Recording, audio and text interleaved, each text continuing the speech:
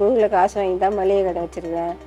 என் பொண்ணுக்கு வீடு கட்டுறதுக்கு காசு வாங்கி கொடுத்தேன். இந்த இப்போ ஒரு லட்ச ரூபாய் வாங்கி என் பொண்ணுக்கு காசு கொடுத்தேன். வீடு பாதியில் நின்றுச்சு ரூப் போடாத.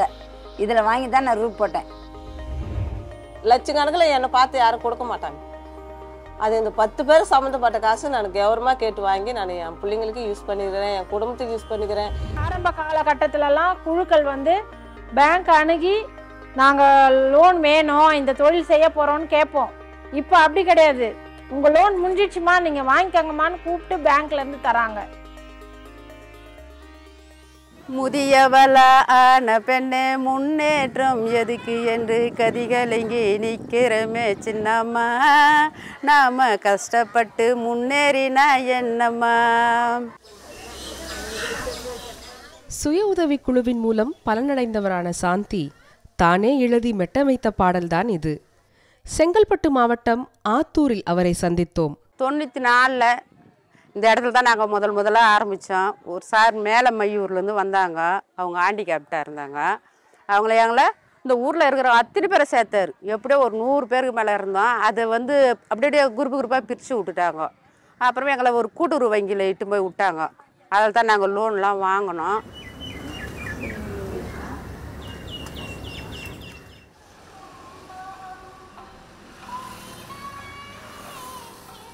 தமிழ்நாட்டில் ஆயிரத்தி தொள்ளாயிரத்தி தொண்ணூறுகளில் சுய உதவிக்குழுக்கள் தொடங்கப்பட்டன.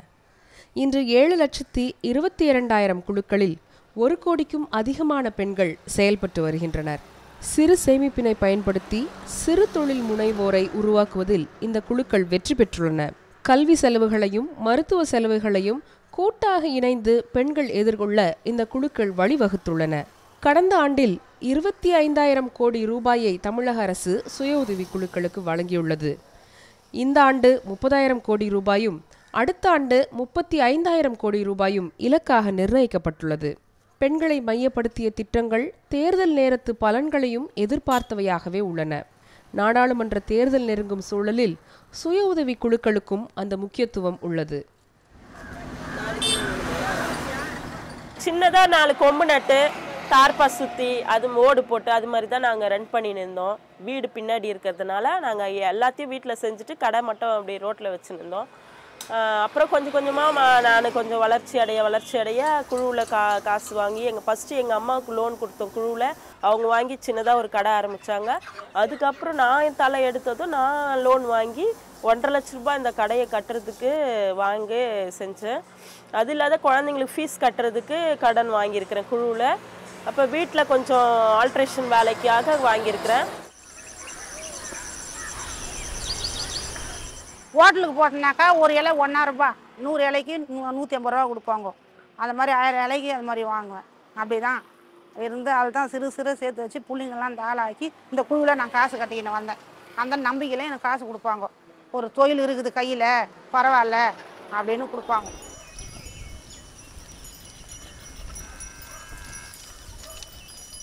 செங்கல்பட்டு மாவட்டம் ஆத்தூர் ஒன்றியத்தில் கடந்த இருபது ஆண்டுகளுக்கும் மேலாக மகளிர் சுய உதவிக் குழுக்கள் இயங்கி வருகின்றன. தற்போது ஆயிரத்தி முன்னூறுக்கும் மேற்பட்ட பெண்கள் இருக்கக்கூடிய தொண்ணூற்றி எட்டு குழுக்கள் இந்த ஒன்றியத்தில் மட்டுமே இயங்கி வருகின்றன. இந்த குழுக்களின் மூலமாக ஒரு நபர் ஐந்தாயிரம் பத்தாயிரம் என்ற தொகையிலிருந்து கிட்டத்தட்ட ஒரு லட்சம் இரண்டு லட்சம் வரை பெற்று தங்கள் பிள்ளைகளுடைய கல்வி கட்டணம் ஏதாவது அவசர மருத்துவ தேவை தொழில் தொடங்குவதற்கான முதலீடு என பல்வேறு தேவைகளை பூர்த்தி செய்து தங்களுடைய வாழ்க்கையினுடைய முன்னேற்றத்திற்கு இதனை ஒரு படிக்கல்லாக பயன்படுத்த வருகின்றனர். ஆரம்பத்தில் ரெண்டாயிரத்தி ரெண்டில் ஆரம்பிக்கும் போதெல்லாம் நூறுரூபா இரநூறுபா இருந்தது சேமிப்பு. இப்போ வந்து இருக்கிற குழுக்களுக்கு அதே காசு சேமிப்பை ஐநூறுரூபா ஆயிரம் உயர்த்தி வச்சுருக்காங்க. பன்னெண்டு பேர் இருக்கிறாங்கன்னா ஆயிரம் பன்னெண்டாயிரம். அது ஒரு மாதத்துக்கு பன்னெண்டாயிரம்னா அது மாதிரி ஒரு ரெண்டு வருஷம் மூணு வருஷம் அஞ்சு வருஷம்னாலே லட்சக்கணக்கில் சேர்ந்துடுது. இப்படிப்பட்ட லட்சக்கணக்கான பணத்தை வந்து அவங்களுக்கு உள்கடனாக கொடுப்பாங்க. தனியார் கடன்களை விடவும் மிக குறைவாக குழு கடன்களுக்கு ஒரு பைசா வட்டி மட்டுமே வசூலிக்கப்படுகிறது. ஐம்பதாயிரம் வாங்கினா அஞ்சாயிரம் ஒரு லட்சம் வாங்கினா பத்தாயிரம் ரூபாய். அது வந்து மா அந்த ஒரு லட்சம் கட்டுற வரைக்கும் அந்த வட்டி கட்டிக்கிட்டே இருக்கணும். ஆனால் இந்த குழுவில் வந்து அப்படி கிடையாது. ஒரு லட்சம் வாங்கினா ஆயிரம் ரூபாய் தான் வட்டி. நாங்கள் கட்டின கட்ட கட்ட கட்ட அந்த வட்டியும் குறைஞ்சின்னு வந்துடுது. எங்கள் சேமிப்பும் எங்கள் பணமும் குறைஞ்சிட்டு வந்துடுது. இந்த குழுக்கள் பெண்களுக்குள் கூட்டு உணர்வையும் தலைமை பண்பையும் வளர்க்கின்றன. ஊக்குனர் ஃபஸ்ட்டு பிரதிநிதி ஒன்று பிரதிநிதி ரெண்டு. பொருளாளர் செயலாளர் பிரதிநிதி ஒன்று ரெண்டுன்னு சொல்லுவாங்க. ஊக்குனர்னா தலைவர். முதல்ல காசு பத்தாம் தேதிக்குள்ளே வசூல் பண்ணிடுவோம். சேமிப்பு பேங்க்கில் தனியாக லோன் கொடுத்தாங்க அது எல்லாத்தையும் பத்தாம் தேதி வசூல் பண்ணி லோனு ஃபஸ்ட்டு கட்டிடுவோம். முறையாக வந்து பேங்க்குக்கு ரெண்டு பேர் போனோம். அதில் நாங்கள் ரெண்டு பொறுப்பாளர் போய் பேங்க்குக்கு போய் காசு போட்டு வருவாங்க. வசூல் பண்ணுவாங்க. ஒருத்தர் வசூல் பண்ணுவாங்க. ரெண்டு பேர் சேர்ந்து எடுத்துன்னு போய் பேங்க்கில் போட்டு வருவாங்க. அது மாதிரி நாங்கள் அதெல்லாம் செய்யணும்.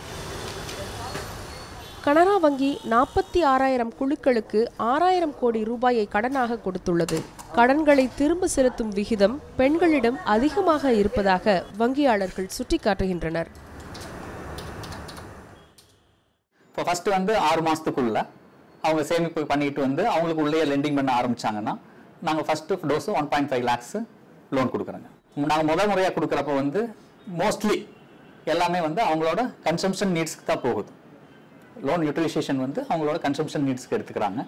செகண்ட் போகிறப்போ அது தேர்ட் போகிறப்போ தான் அவங்க வந்து ஏதாவது எக்கனாமிக் ஆக்டிவிட்டிக்காக அந்த லோனை யூஸ் பண்ணுறாங்க பெண்களின் எல்லா கடன் தேவைகளையும் சுய உதவி குழுக்கள் தீர்ப்பதில்லை.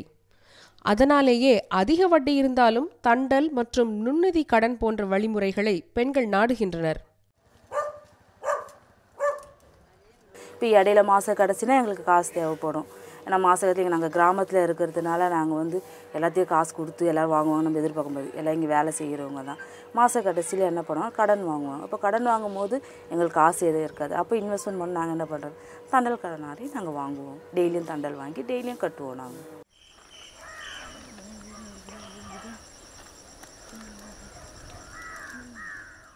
எம்எஃப்ஐ கடன் வந்து சுலபமாக கிடைக்கிறது அப்படிங்கிற ஒரே காரணம்தான்.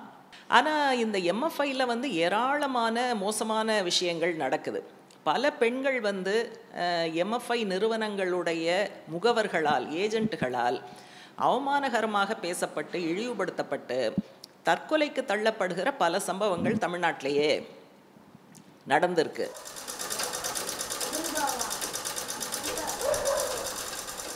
இந்த குழுக்கள் சேமிப்பு பழக்கத்தை மட்டுமல்லாமல் பெண்களிடம் சகோதரத்துவத்தையும் வலுப்படுத்துகிறது. எல்லாம் ஒற்றுமையாக இருக்கும். அதெல்லாம் எந்த மாற்றமும் கிடையாது. இங்கே தான் நடக்கும்.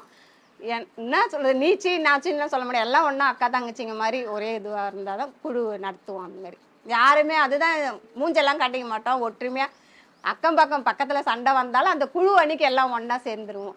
அதுதான்.